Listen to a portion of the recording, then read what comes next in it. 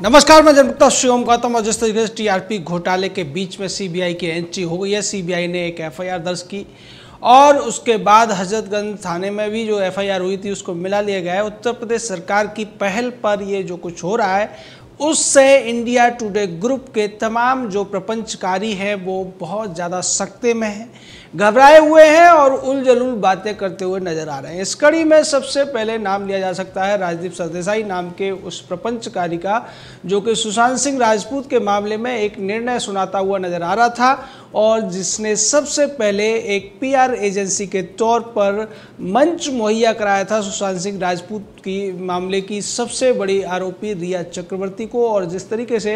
हंस हंस कर सवाल पूछते हुए ये सीबीआई जाँच से पहले ही पूरे देश को ये निर्णय सुना देने की जल्दी में था कि सुशांत सिंह राजपूत की मौत से रिया चक्रवर्ती का कोई लेना देना नहीं है और जो आरोप रिया पर लग रहे हैं वो सब झूठे हैं। रिया के खिलाफ भी सीबीआई जाँच पहले ही चल रही है ईडी की जाँच चल रही है एनसीबी की चल रही है और अब उस नाटक के मुख्य किरदार राजदीप सरदेसाई के खिलाफ भी सीबीआई जाँच का सिकंजा कसता जा रहा है। यही वो बात है जिसको लेकर सीबीआई जाँच से इतना ज़्यादा डर गया है राजदीप सरदेसाई और ये कहता हुआ नज़र आ रहा है कि सुशांत सिंह राजपूत के मामले की तरह से क्या सीबीआई अब टीआरपी स्कैम के मामले में भी जाँच करने जा रही है? पहले मुंबई पुलिस से जाँच इसी तरीके से सुशांत सिंह राजपूत के मामले में ली गई थी और अब मुंबई पुलिस जो दूसरे मामले की जाँच कर रही है, उसको भी उत्तर प्रदेश सरकार की पहल पर अब सीबीआई को सौंप दिया गया है। क्या ये सेंटर यानी कि केंद्र सरकार का हस्तक्षेप है? ये वही राजदीप सरदेसाई है, या आज तक चैनल का वो प्रपंचकारी है। तमाम केसेस में ये लोग सीबीआई जाँच की मांग करते हैं, लेकिन अब जब इनके ही कुकर्मों के खिलाफ, इनके ही पापों के खिलाफ, इनके ही भ्रष्टाचार के खिलाफ, इनकी ही चोरी और बेईमानी के खिलाफ सीबीआई जाँच होती हुई दिख रही है तो ये घबराए हुए हैं। दरअसल जो सीबीआई जाँच के लिए उत्तर प्रदेश में मामला दर्ज हुआ है, इस मामले में अभी तक किसी का नाम नहीं लिया गया है। यह अज्ञात लोगों के खिलाफ है, लेकिन चोर की दाढ़ी में तिनका होता है। इसीलिए राजदीप सरदेसाई और पूरा का पूरा इंडिया टुडे ग्रुप आज तक चैनल ये सब के सब घबराए हुए हैं। कोई भी अब इस पूरे मामले पर बोलने की हिम्मत नहीं दिखा पा रहा है। चाहे राहुल कंवल हो, जो जैसे ही परमवीर सिंह की झूठी प्रेस कॉन्फ्रेंस में अर्नब गोस्वामी का नाम उसने सुना था, रिपब्लिक टीवी का नाम सुना था तो एकदम बल्लियों उछलने लगा था। न वो सुधीर चौधरी, न रजत शर्मा, न रूबिका लियाकत जैसे लोग, न नविका कुमार जैसे लोग। अब ये सब के सब घबराए हुए हैं और इन्हें ये पता नहीं चल पा रहा है कि ये जो सीबीआई जाँच उत्तर प्रदेश सरकार की पहल पर होगी, इसमें किस किस चैनल के कौन कौन से लोगों को जाँच के लिए बुलाया जाएगा और किसका राज खुलेगा सीबीआई के सामने।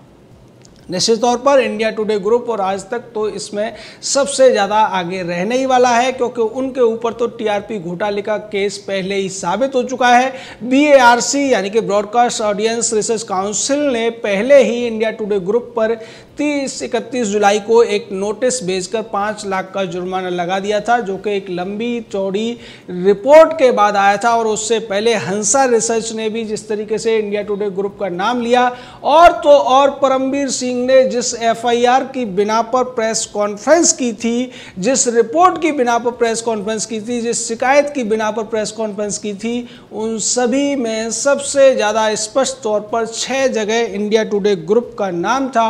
लेकिन कमाल देखिए कि Paramvir Singh India today group का नाम लेने की बजाय अर्नब गोस्वामी और उसके चैनल को निशाना बांधता हुआ दिखाई दिया और ये कहता हुआ दिखाई दिया कि अर्नब का जो चैनल है, उसके तमाम अकाउंट्स को खंगाला जाएगा, तमाम विज्ञापन दाताओं को भी पकड़ा जाएगा, जिससे पता चले कि इन्होंने कितना बड़ा घोटाला किया है। और तो और परमवीर सिंह ने तो उस घोटाले को चालीस हज़ार करोड़ के क्वांटम का घोटाला बता दिया था। यानी कि परमवीर वहाँ पर लंबी लंबी छोड़ता हुआ दिखाई दे रहा था और उसी परमवीर को, उसी के एक जूनियर को मंच मुहैया कराया था। इंडिया टुडे ग्रुप ने आज तक चैनल ने और जिस तरीके से इन लोगों ने लड्डू बांटे थे, जिस तरीके से इन्होंने खुशियाँ मनाई थी, आज उसका नतीजा इनको भुगतना पड़ रहा है। पुरानी कहावत है कि जो दूसरों के लिए गड्ढा खोदता है, गिरना उसी को पड़ता है, क्योंकि वक्त का पहिया जितनी तेज़ी से घूमता है, आदमी का दिमाग उतनी तेज़ी से नहीं चल सकता। और इसी का नतीजा है कि जो अरनपुरी, कलीपुरी राजदीप सरदेसाई, राहुल कंवल, रोहित सरदाना, अंजनाउम कश्यप और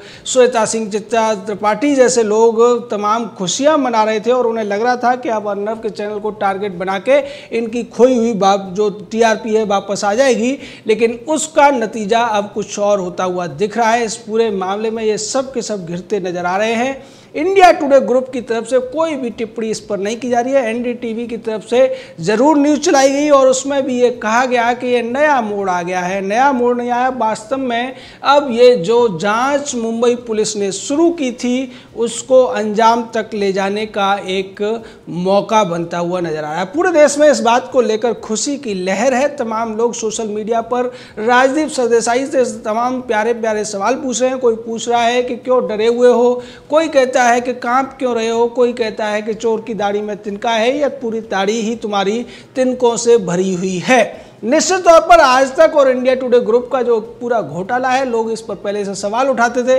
लेकिन कोई हिम्मत नहीं कर पाता था कि किस तरीके से आज तक चैनल इतने दिनों से नंबर वन बना हुआ है टीआरपी में। कहीं ना कहीं तो कुछ तो कुछ तो काला है दाल में, या पूरी दाल काली है। अब ऐसा लगता है कि ये पूरी दाल ही काली थी, और उसी काली दाल को छुपाने के लिए आज तक चैनल ने, इंडिया टुडे ग्रुप ने परमवीर सिंह को सुपारी दी और परमवीर सिंह ने उनके ऊपर से जो आरोप था, उसको सिरे से खारिज करते हुए उस व्यक्ति को इसमें लपेटने की कोशिश की, जिसका इस पूरे मामले से कोई लेना देना नहीं था।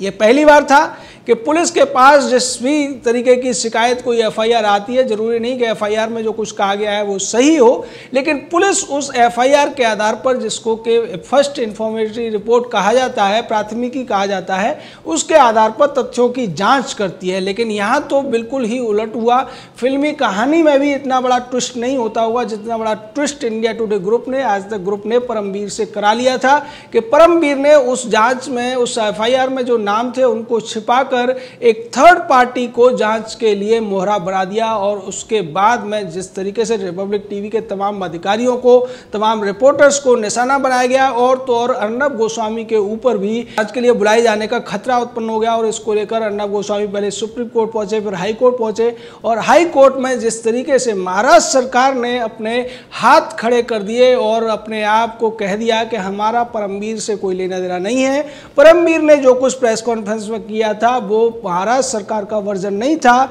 और महाराष्ट्र सरकार ने भी ये मान लिया कि उस एफआईआर में अर्नब गोस्वामी और उसके चैनल का नाम नहीं था। अब सवाल यह है कि परमवीर ने इतना बड़ा झूठ कैसे बोला और वो पत्रकार जो अपने आप को बहुत बड़े सूरमा बताते हैं, बहुत बड़े अपने आप को पत्रकारिता का मूर्धन्य बताते हैं, ज्ञानी बताते हैं और तमाम तरीके की प्रवचन दिया करते हैं। आज वो कहाँ छुपे हैं, वो क्यों नहीं सवाल उठा दे परमवीर सिंह से, वो क्यों नहीं सवाल करते हैं मुंबई पुलिस से, वो क्यों नहीं सवाल करते हैं इंडिया टुडे ग्रुप से और आज तक से कि उस एफआईआर में नाम तो इनका था, लेकिन सवाल दूसरे व्यक्ति पर दागे जा रहे थे और वो खुद जो अपने आप को पत्रकार कहते हैं और अब बहुत बड़े प्रपंचकारी सिद्ध हुए हैं उन्होंने क्यों नहीं इस पूरे मामले को ढंग से खोजबीन की? छः घंटे के भीतर जब पता चल गया था कि इस मामले का दोषी आज तक चैनल है, इंडिया टुडे ग्रुप है, उसके बावजूद वो अर्नब गोस्वामी और उसके चैनल रिपब्लिक टीवी को निशाना बनाते रहे। बाद में भी जब ये सारा मामला खुल गया, हाईकोर्ट के अंदर कपिल सिब्बल ने कह दिया कि एफआईआर में अर्नब गोस्वामी और उसके चैनल का नाम नहीं है, वो अपराधी नहीं है। उसके बावजूद इन लोगों में थोड़ी भी शर्म नहीं बची, इन्होंने न माफ़ी मांगी और ना ही उसका खंडन किया और न ही वो सीबीआई वाले मामले पर कोई रिपोर्ट बनाते हुए या कोई एपिसोड करते हुए दिख रहे हैं, जैसा कि उन्होंने अर्नब गोस्वामी का नाम उछाले जाने के बाद किया था। निश्चित तौर पर इसको लेकर सुधीर चौधरी ने एक प्रोग्राम में बात तो की थी, लेकिन उसने सिर्फ़ और सिर्फ़ ये कहा कि ये मामला मुंबई के मामले से अलग है। उसने ये नहीं कहा कि मुंबई के मामले में जो दोषी था, उस व्यक्ति को, उस चैनल को बचाने की कोशिश परमवीर सिंह मुंबई पुलिस का कमिश्नर कर रहा था, और इसके लिए अब उसकी नौकरी पर बात बनाई है। उस पर दबाव है कि या तो वो इस्तीफा दे या फिर पूरे मामले की ज़िम्मेदारी ले।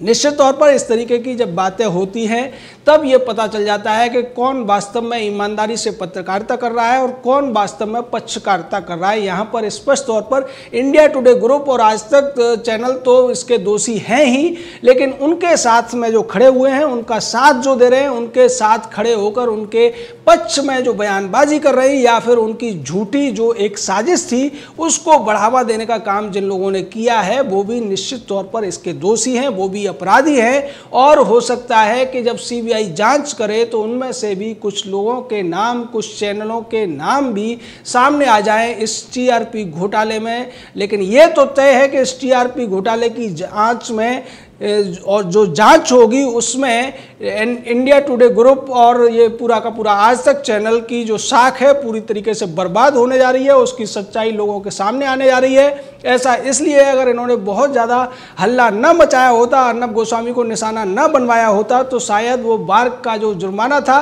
पाँच लाख का, उसको भर के ये छूट भी जाते, लेकिन इन्हें ऐसा लगा कि ये इनके हाथ में महाराष्ट्र सरकार है, इनके हाथ में महाराष्ट्र सरकार का पुलिस है महाराष्ट्र का गृह विभाग है उद्धव ठाकरे, सोनिया, शरद सभी इनके साथ हैं और परमवीर सिंह नाम का महाराष्ट्र पुलिस का कमिश्नर तो इनके हाथ का खिलौना है क्योंकि इन्होंने उसको सुशांत सिंह राजपूत के केस में बचाया था, रिया चक्रवर्ती को बचाया था, इसलिए वो इनके इशारों पर चलेगा और ऐसा हुआ भी, लेकिन ये जो पूरा खेल था, अब इनके गले में एक हड्डी की तरह फंस गया है। ऐसी फांस फंस गई है कि अब राजदीप सरदेसाई, राहुल कंवल, रोहित सरदाना, अंजना ओम कश्यप, चित्रा त्रिपाठी या श्वेता सिंह, अरुण पुरी और कलीपुरी जैसे लोग अपने मुँह से शब्द भी नहीं निकाल पा रहे हैं, अब न उनको उगलते बन रहा है, न निगलते बन रहा है। निश्चित तौर पर जो वक्त की लाठी है, वो अब आज तक चैनल और इंडिया टुडे ग्रुप पर बहुत भारी तौर पर पड़ रही है। जय हिंद, जय भारत।